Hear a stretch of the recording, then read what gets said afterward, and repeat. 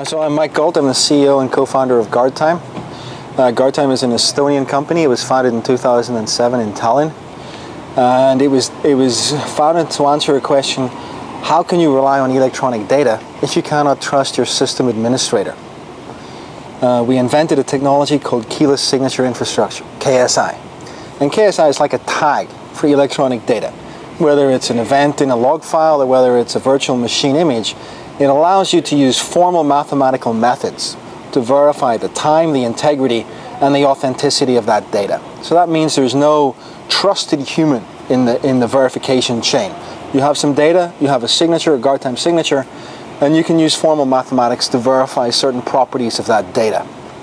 Uh, so it was originally deployed in the banking system within Estonia to sign transactions. So every ATM, mobile, internet payment, all these transactions just automatically and naturally come with a Guardtime signature. And that has many benefits, but from insider fraud, it prevents system administrators from manipulating data and hiding their tracks. It prevents hackers breaking in, modifying data and hiding their tracks.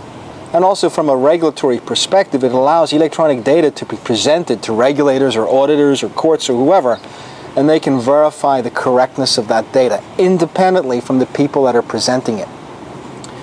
And so we started this in, uh, we raised some financing in 2010. We went to, we went to uh, Asia.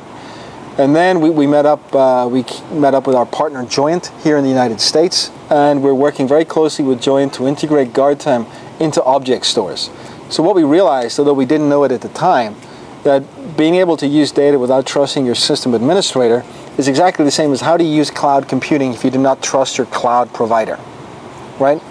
And so by integrating GuardTime's KSI, KSI technology into object stores, you can use cloud and still verify that the integrity of the data that you're storing in the cloud is correct.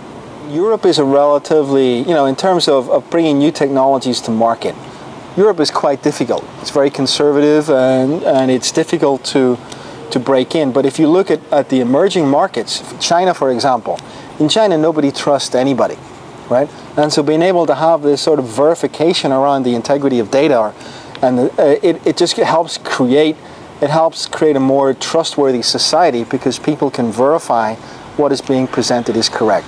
So we, you know, where, where does Guardtime message resonate? It resonates with, in countries like China, it resonates with governments who are paranoid about the security of their data. And so, uh, you know, we, we, see we see our technology being deployed in clouds, uh, in cloud infrastructure throughout the world. So initially, we started in Estonia, then we moved to Asia and then the US. And we're looking forward to returning to Europe and actually building, hopefully, what is be a standard for government accountability. Because when you have Guardtime integrated, when you have these signatures integrated into cloud, you have complete accountability for government. So everything can be verified. Everything that happens in that cloud can be verified independently from the operators of that cloud. And it just greatly increases transparency and uh, attribution for, for government.